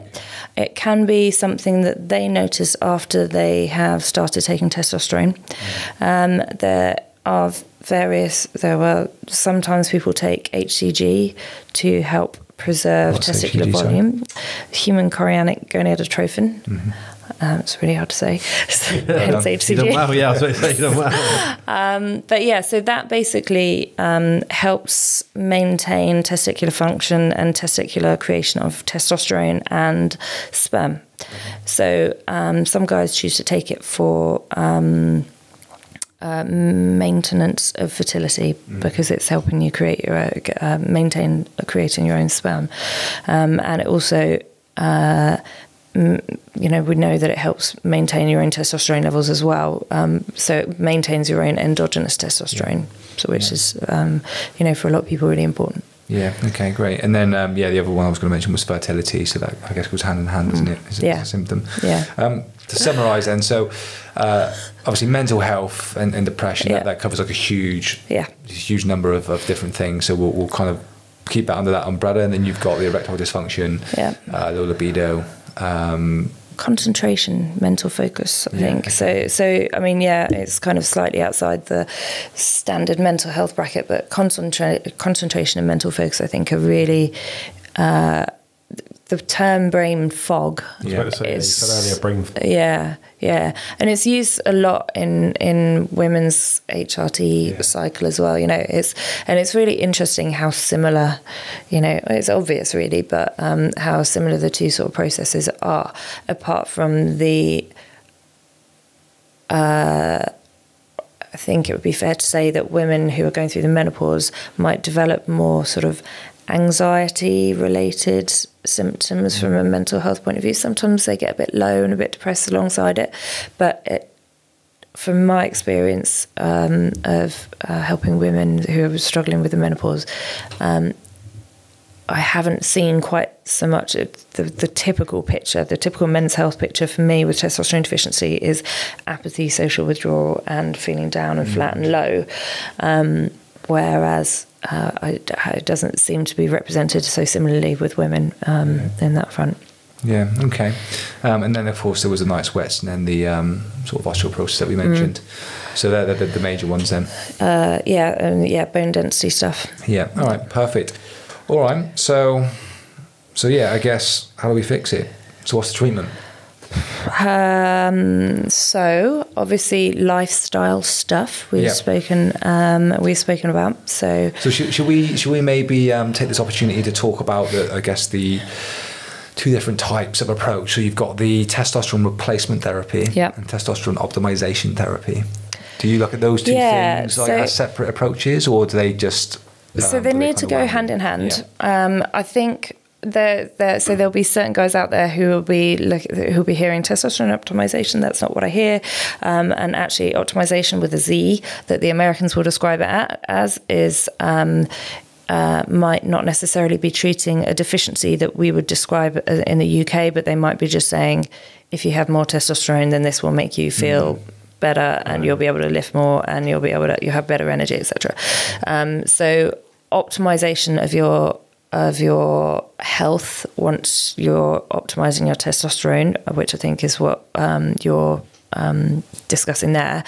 Uh, yes, I think you know they're obviously some of the lifestyle things that we talk about, um, but the the treatments for um, replacing your testosterone um, is that what you were implying for the yeah Yeah. Yeah. So so I guess yeah, there's probably three things actually. Now you've said that, that I was Okay. thinking about because the, the optimization was around the lifestyle coaching more. okay yeah Um, and then the replacement was then Yeah. providing the the extra testosterone. Yeah. But now you've mentioned that it's a really good point around actually the treatment of deficiency through extra testosterone, but also Yeah. the optimizing of Yeah. testosterone levels through endogenous testosterone as well. yeah Because that's something that um, you know I, I feel in the UK is is where it, it looks like again we're different to the US. Mm-hmm. We're in the UK that there are you know options for people to to correct deficiency. Mm-hmm. But you know, for example, someone like me who's forty, um, not necessarily symptomatic, Mm-hmm. um, but actually would like to feel like I did when I was 30 Mm-hmm. I feel like that that for me to achieve that's quite difficult. And you Yeah. might tell me, Well, through, through through the NHS. uh, well, no, no, everything's No, difficult for the. NHS, but even through like private practice, Okay. I feel like that's considered uneth- not unethical, but you know, it's not common practice to go. Actually, you're in a normal range, you're not symptomatic, Mm. therefore, we're not going to give you any. yeah, I see. what Extra you mean. Yeah, testosterone. Yeah, Yeah. and and I think is I don't know. I mean, obviously, I'm a UK based doctor, so I'm going to have grown up within the culture of that. But for for me personally, I kind of feel like actually by taking testosterone replacement therapy, it's not an on the bus, off the bus type of thing. Like it's a commitment for life. Um, and I think unless you are correcting a health deficit, I believe that it's quite irresponsible in some ways of a clinician to essentially consign you to a lifestyle of dependence on a medication Okay. and I think I feel like that's that's quite an important thing to bring out because potentially we could downregulate your own testosterone, um, and then that's it. And actually, you sitting here right now could be like, yeah, I can afford this. This will be fine. But seventy-two-year-old you might not, or in four year old's time, like there might be some hideous life event that means that you end up in a NHS hospital and they stop giving you that treatment, mm. and then you come out and you can't work and pay for said treatment. Yeah. And we never really know what's coming around the corner. Yeah. But actually, you as you are, it could be that we're thinking, well, hang on a second, why do you feel like you need that to be, you know, optimized? Mm. Maybe there's a mindset change that we need to be thinking about that mm. you aren't as you need to be right now. Um, and I think there's there's a sort of a bigger question about the responsibility of the clinician, the prescribing clinician, to know whether or not um, that's the most appropriate thing for somebody to consign them to that life. Yeah, no, that, that's a really good point. and that was one of the questions. Was, was is it for life? And yeah, it obviously is. Um, and yeah, it is, it's such a good point, I think, because obviously it is, you know, for a private clinic um, in most cases, unless you've got a really forward thinking, educated NHS GP, which is unlikely in regard to this area, I mean. Um, so yeah, it's, it's definitely something to consider, isn't it? I think. Mm. But equally, you know, good point that if, you know, anybody is thinking that they like to feel more optimized, then mm. maybe that's because they're feeling less optimized. Then mm. there might be some be. other stuff going on. Yeah. yeah. All right. Fine. Okay. So that's American optimization, British optimization covered. S and Z. Um, so in regard to kind of you know testosterone replacement therapy, then so someone comes into your clinic, mm-hmm. they're symptomatic. Um, what's the first thing that you would do with them? So um, we'd find out about their bloods. Um, we would give them a full MOT um, with regards to blood. So we'd be looking at a full blood count. Um, we'd be looking for any anemia, um, and we'd be looking at hematocrit levels. We'd be looking at any signs of infection or chronic infection or anything. Uh, we'd be looking at kidney function, thyroid function, cholesterol levels. We'd be looking at HbA1c, which is looking at insulin sensitivity um, and We'd probably also look at vitamin D levels as well, because there's a weird amount of vitamin D deficiency mm. going on. Yeah, it's because we're all stuck in rooms. We're all sat in yeah. that look fucking grey skies in England. yeah. Um, yeah, where is the sun? Anyway, um, and I guess we should probably look at hormone levels, or people would be wanting a refund. Mm-hmm. So um, we'd look at all of those things, and we take those uh, bloods fasted in the morning between seven and eleven, and then I'd before starting treatment, I'd want to look at two samples. Um, most two samples definitely looking at free testosterone, total testosterone, and the FSH and luteinizing hormone. Um, and we want to do that because there are loads of variables I mentioned before. You know, we could take it three times in a day and they'd look wildly different. You could paint a different picture of different different people, um, and I'd want to take a pretty thorough history history about whether or not you just gotten over any chronic disease, chronic illnesses, or you know, or injuries or whatever, and what medications you've been taking recently as well, just to check that there wasn't anything on the list that was going to um, make a difference. But often though guys will have come to me with like i get the occasional spreadsheet. I'm like i'll get i love a spreadsheet. And it'll be like 10 years worth of of uh, blood tests that have been taken from various institutions. So mm. often is i've already got the answers when yeah. people come in. Yeah. And do you have uh, access to like uh, sort of the medical records and stuff so, no, I don't, which is why it's really important for me to communicate with their GPs um, and to make sure that their GPs are aware of any treatment that we start together. Um, so, what I do say to patients are if they've had um, blood tests done through their GPs, then can they provide them? Um, but more and more, I'm seeing guys that come in and ping over their Medichecks tests and things like that as well. But I also do bloods in the clinic anyway, so I get to see them firsthand. So. Yeah. And do you ever um, bump heads with GPs when you're treating their patients? Do you ever get any pushback?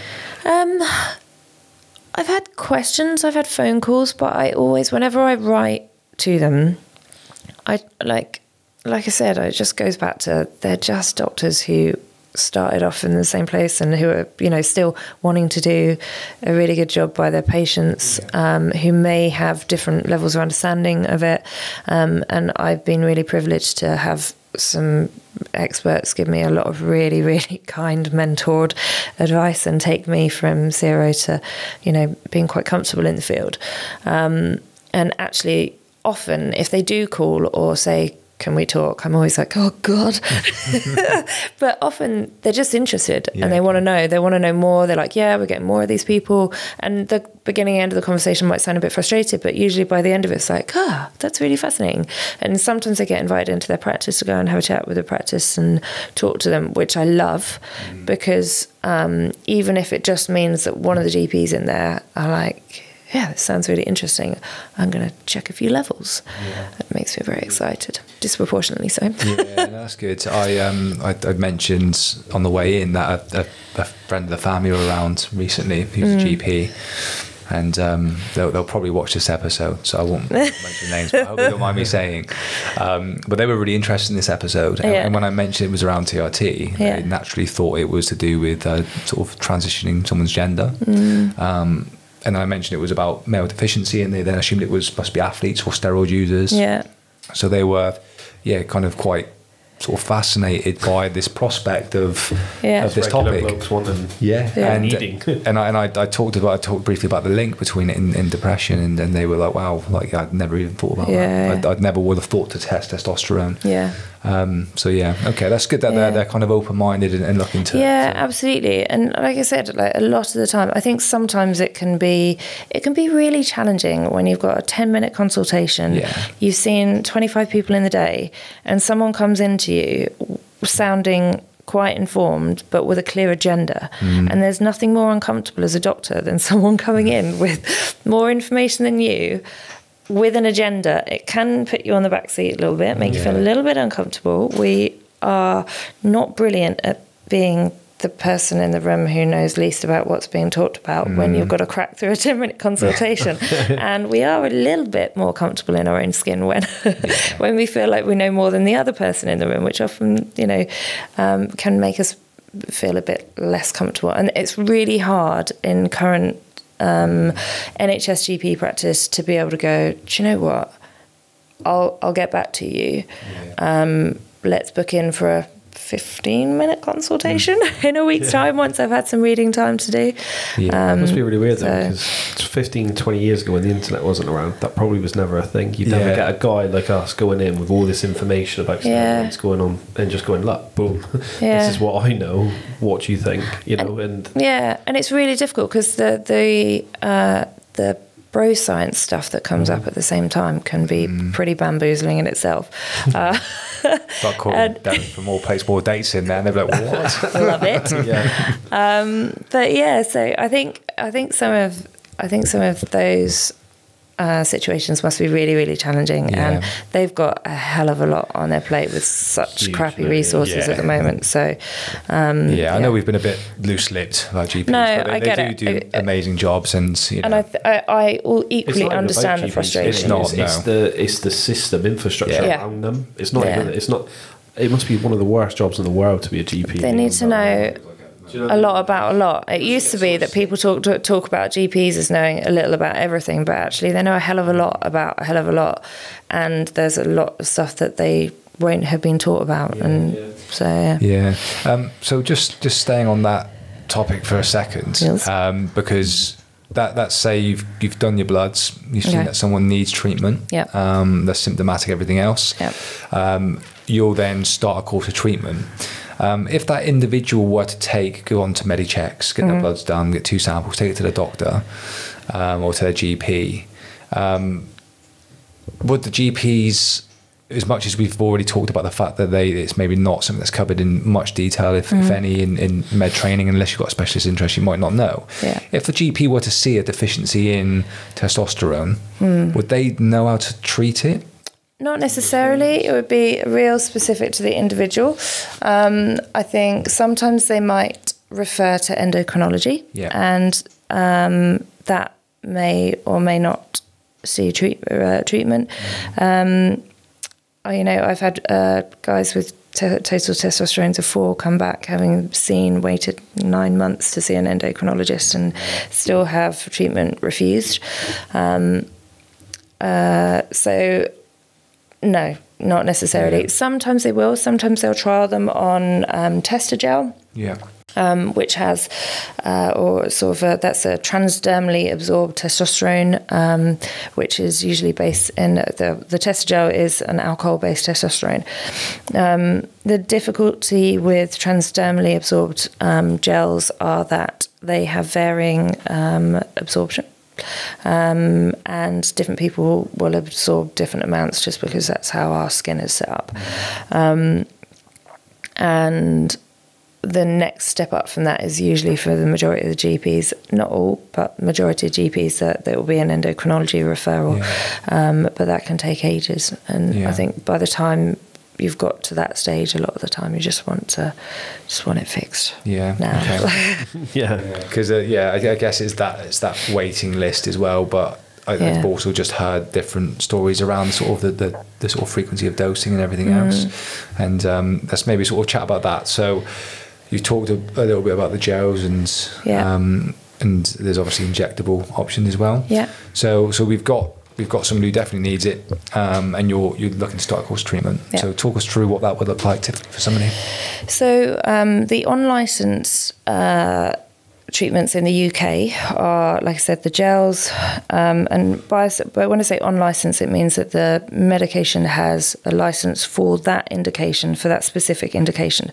So there are other testosterone treatments who have been uh, that have been tested and are known to be safe, but not specifically licensed for that indication. So um, obviously we spoke about uh, Testosterone. The other unlicensed medication for testosterone deficiency in the UK is Nebido or testosterone undecanoate, um, which is a um, very long-lasting uh, treatment, which is given as an intramuscular injection into the glute. Um, it's a four mil um, injection, which is quite a high volume. Um, so it has to be given over. Uh, suspended in oil, so it has to be given over. A, and it's recommended a 90 second to 120 second duration. So it's quite a long chat while that goes in of Yeah, I distraction. was about to say, that's, Yeah. that's a lot, isn't it? Yeah. So, and it's a it's a large volume as well. So people find it quite uncomfortable, um, and some people say that they don't really feel much different for the first few weeks, and then they get a good middle few weeks. They get excited about things, and then it, it sort of drops off in its if it, in its efficacy. There are some people who who get positive results from it. Um, but the uh, thing that a lot of chaps say that they've read on forums is that there are people who get good, uh, uh, good positive results from that. Those two treatments are sort of few and far between. They don't tend to they don't tend to get many popularity rankings in the forums. So that's one of the things that. You, And how often would that be done? Every week? so every no, so the the Nebido injection is between every eight to twelve weeks. Just one injection every eight to twelve weeks. Yeah. That's completely different to what gym rats, for well, because they all talk about would take, yeah. microdosing, don't they? On a Yeah, that's what I was going to say. Yeah, Yeah. They, like take test cypionate and they microdose it on a Monday, Tuesday, Thursday, Friday, and then like you know.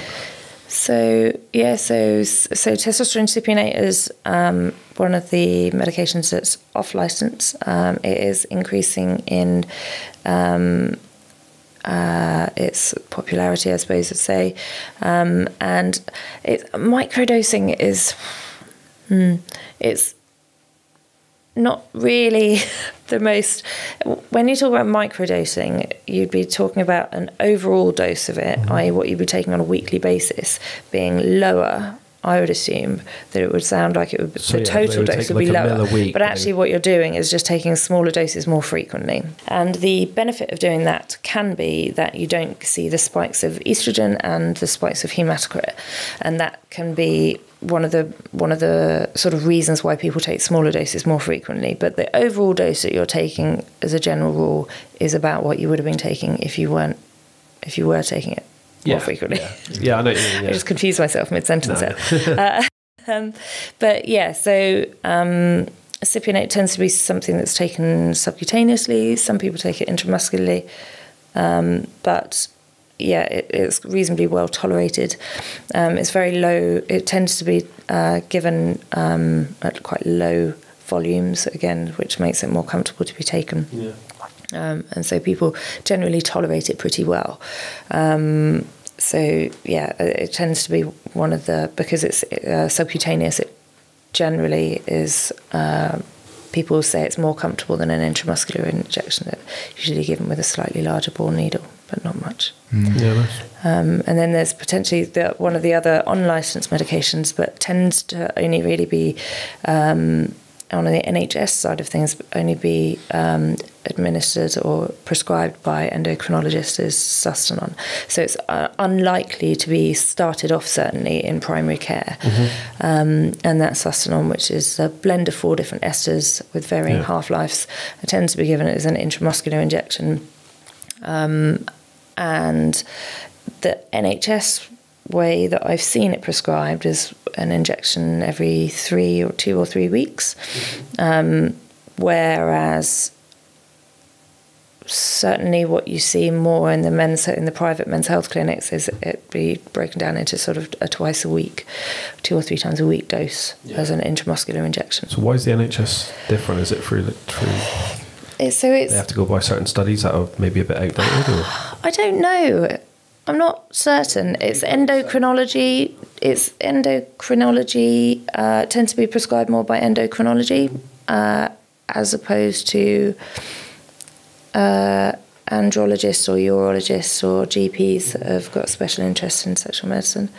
Uh, but I'm not really that sure about what the difference is. I don't know what I haven't really seen much. I haven't, from my reading, managed to gather much of an evidence base for why you would do it for that time period. All right. So yeah, you got the injectables or you got the the gel. Yeah. Um, and then we, we kind of touched already a couple of times around, you know, some of the, um, I guess, thought of side effects of taking tests. And I think a lot of these are associated with um, probably illegal use of, st- of testosterone. Um, but some of the things that obviously get talked about, so there's obviously heart disease, hair loss, fertility, um, and again, ball shrinkage. Moobs. Yeah, that one too. Yeah. um, so, how how do you typically mitigate those in, in practice when you're treating?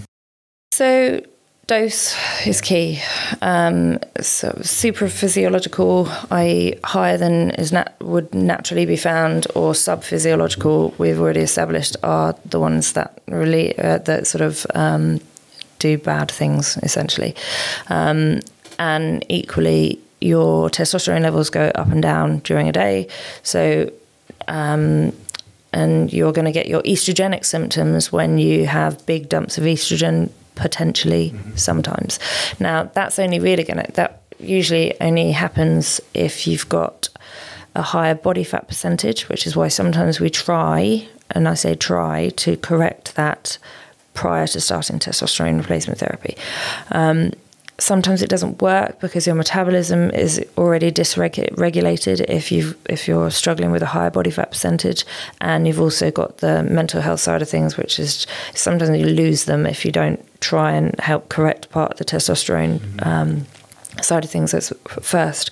But equally you have to make sure it's safe so you're not putting them if they've got um, a high body fat percentage you need to make sure that you're not putting them at risk if of dyslipidemia, so uh, disrupted cholesterol, and um, raised uh, blood pressure, and putting the, giving them other risk factors. Because actually, yes, it's all very well saying put them on testosterone because it will make them better, but actually, if they've already got so many risk factors, mm-hmm. sometimes you need to correct the risk factors 1st mm-hmm. um, you can sometimes do them at the same time.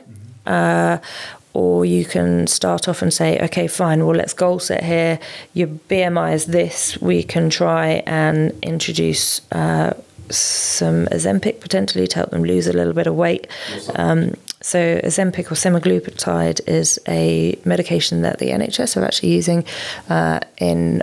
Uh, I think it has to be hospital led consultants mm-hmm. to help increase in- insulin sensitivity, uh, reduces appetite, and makes them makes people feel fuller for longer. Um, but it can be prescribed again on the private side to help people achieve weight loss. Um, that said, it needs to be done in a way that essentially you're helping to um, establish an understanding about why their relationship with food has got them into the body habitus that they're in so that you can help correct them and help them develop a more positive relationship with food and move forward. Otherwise, you're just They'll giving just them medication and you're not learning. As soon as you come off the medication, there's no, there's not been a positive uh, process that has helped establish better sort of health habits. Yeah. It's having that relationship with food long term, isn't it? That really helps. It's Yeah. not, Yeah. you know, a, a five minute drug that gets it off and then they yeah back on. exactly. And i think sometimes by the time people have put on that much weight often they will be um, eating because they're feeling sad. And if you put if they then go on a diet they're associating dieting and weight loss with pain of you know with being miserable because they're on a diet and they're de- denying themselves um, the positive reinforcement of food. So whereas actually if you start breaking that feedback cycle where you say actually you're now celebrating that salad because you're happy about the fact that it's helping you get closer to your goals. Um, and they can genuinely do that with Ozempic because often they don't feel hungry, so they're not having that constant gnawing of feeling miserable because they're not. Um, uh, they're not feeling yeah. So it's it's a really really useful tool. Um, and it can be really useful for reducing some of the risk factors before you start testosterone replacement therapy and also seeing like starting that really positive step of the journey so yeah Yeah. Okay. Yeah. Perfect. Um, so yeah, it, it really sounds like a lot of these side effects then, you know, uh, would happen as a result of long dosage, taking God knows what online, um, Yeah. and maybe not tackling some of the the health risks before you start. Yeah, absolutely. And also not going into it with eyes wide open, like, you know, informed consent is a big deal here. You need to know what your risk factors are, where they lie, short term, long term, um, and that managing that uncertainty of timeframes, um, but also getting that this is testosterone, the testosterone part of it is only part of the solution. Um, but it's also really exciting. Like, I want people to walk out of the room going, this could be it. This could Could be, yeah, Yeah. This is, is like it sounds cheesy, but this could be the beginning of the rest of your life, where actually shit gets better, a lot better Yeah. um, and they're their own driving force because it's empowering them to get a hold of all the shit in their life that isn't really where it needs to be right now. Because like, it may not all be about the testosterone, but it can be that change, that beginning step. Yeah. Yeah. So it's um yeah, it's it's real. It's an area that I become I've really begun to love more and more, and just watching guys the awesome things that they go out and achieve once they've just been given a little nudge, and they then go out and you know make some pretty amazing changes in their lives. It's really cool to see.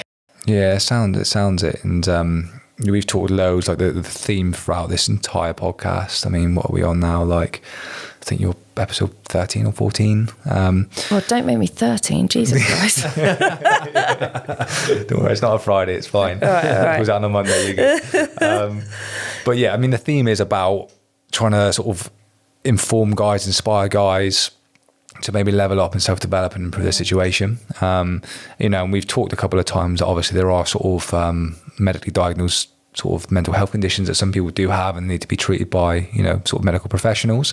But then there's there's others who don't have a clear diagnosis and are just you know down in the dumps, depressed, and you know to somewhat you know they're, they're our target audience, aren't they? And they're, they're the, the guys that we're saying to like get your ass out of bed and go to the gym. But it's interesting to hear from you that actually there may actually be something underlying yeah. that that's maybe not you know mental health related as such, but is sort of causing them to to maybe have that lack of motivation. But, Yeah. but they probably think they have got depression or they have got something else when you know they may not Yeah. actually have that. But, but I mean, Yeah. but what is depression? Do you know what I mean? And you kind of wonder.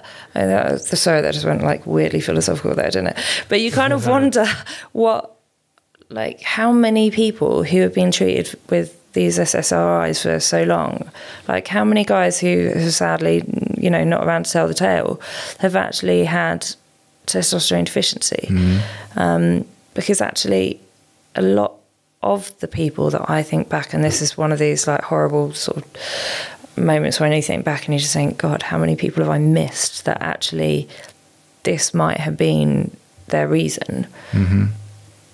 And yeah, I think that's an is it's a question to ask, but you don't we don't I don't think we'll ever really kn- know. Mm. But I can't tell you many guys that I've treated with an antidepressant that's come skipping back into my room six months later.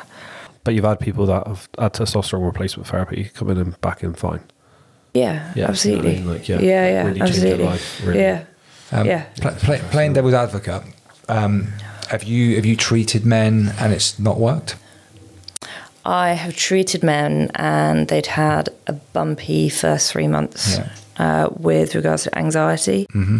Uh, with regards to just being a bit emotionally incontinent for a bit, um, for want of a better phrase, a bit tearful, a bit um, tetchy.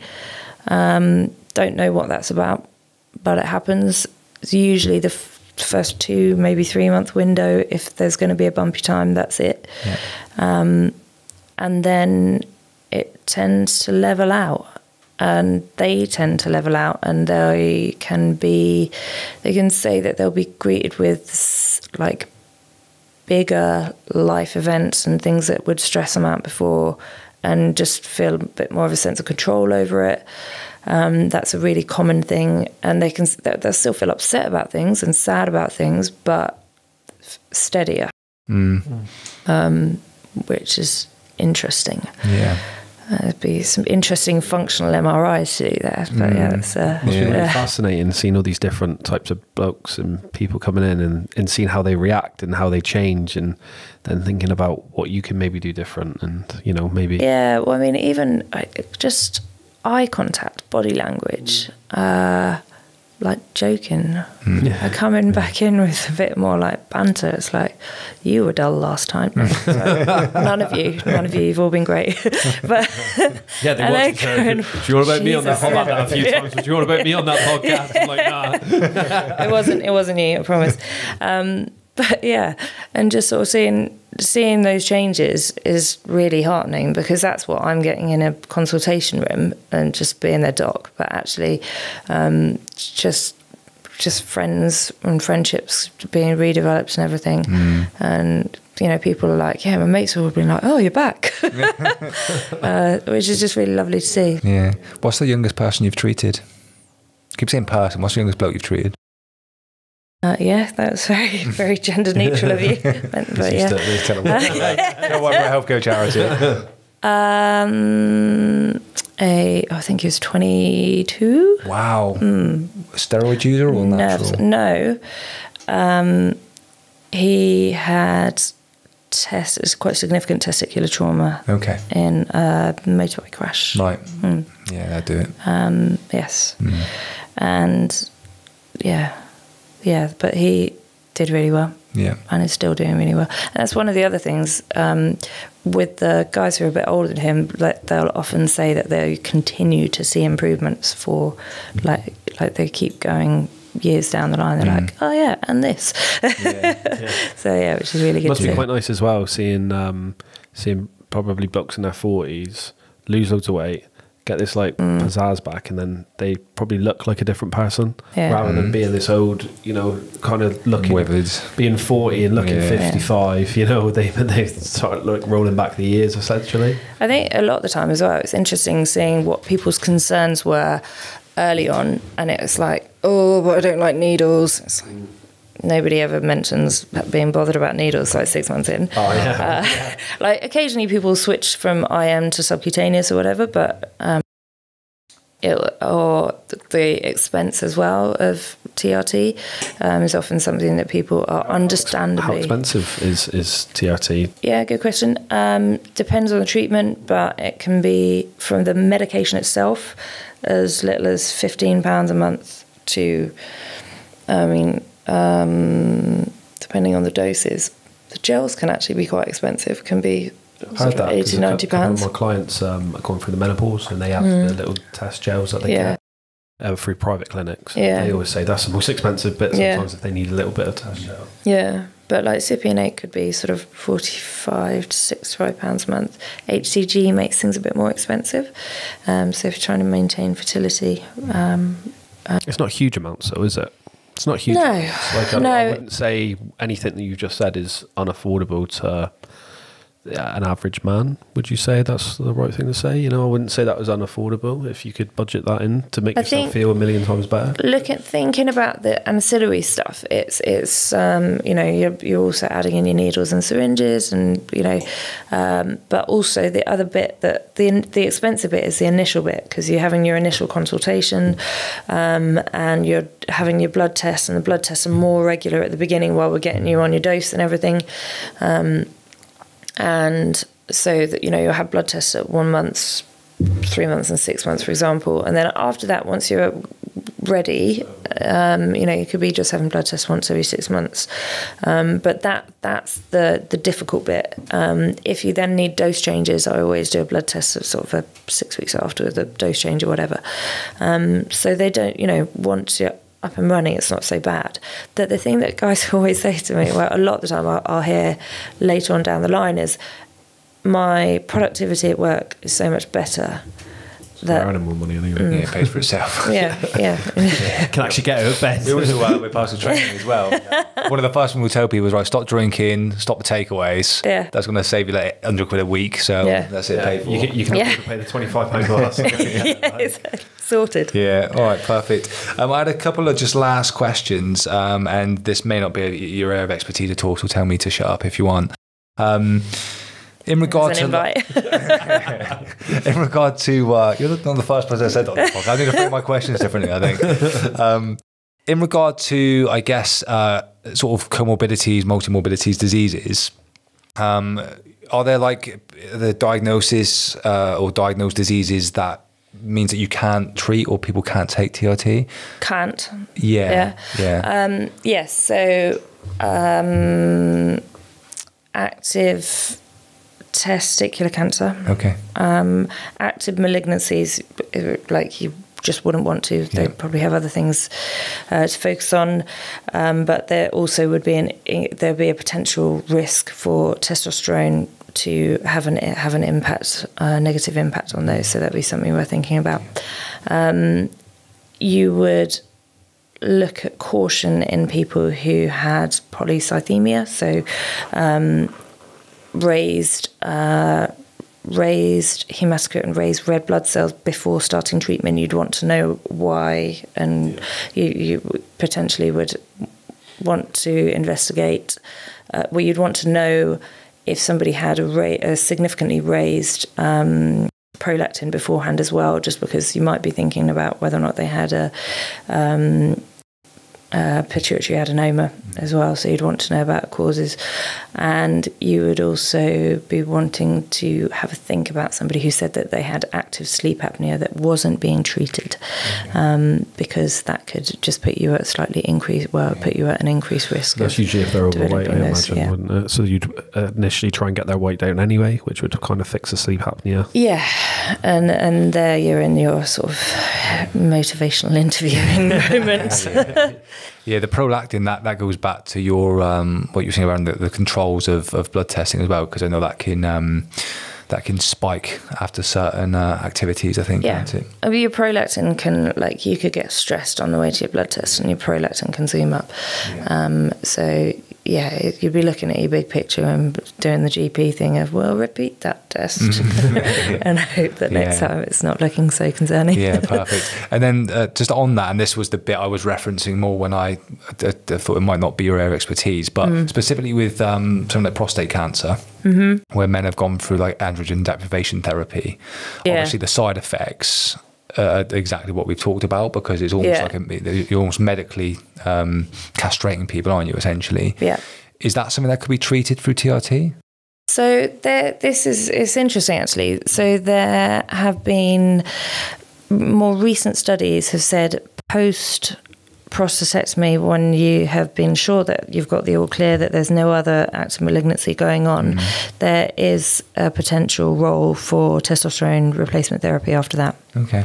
um, yeah, and I think it's something that you'd want to do in conjunction with their either urologist or oncologist, depending on who they were being mar- mal- managed by at that stage. Um, but it would be it wouldn't be ruled out and off the table now. Yeah. Okay. Um. Would age come into that?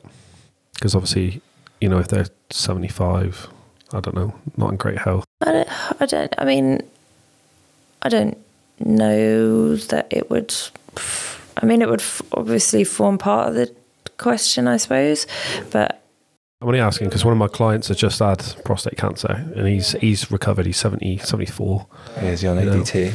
Yeah, I think so. So again, it's one of those that he's he's been feeling like shit since he's you know he's got the all Mm. clear and it's all good, but since he's come back, he's not quite the same. You know, Yeah. his energy level's not quite the same, Mm. obviously, because what he's been through, Yeah. whatever, which is kind of normal. yeah. But I was And- just interested then to say, like, you know, might be worth you going to speak. Yeah, well, no, it was interesting because I was actually um, in a clinic with a urologist who was looking after some of these individuals, um, and he was a professor in urology and was quite comfortable in treating these patients. Um, it would definitely be a consultation with the hospital specialist to know that everything was absolutely clear. Um, but some of these people, some of these people actually do really well just on the, some of the gels because actually the margin of increase that they these older guys need to feel sometimes is uh, significantly less. So actually, a lower dose gel um, might be a can do them quite well. Yeah. Yeah. Um, but it's it's just making sure that you know you need to make sure that they're as safe as they possibly can be before you do treatment like that. Yeah, no, it was just that it was a it was a population that I'm Mm. a little familiar with with my with my other job, but um, Yeah. yeah, I thought I'd ask because I knew that was uh, a, quite a severe side effect of that particular treatment was the, essentially the symptoms we talked about. All right, amazing.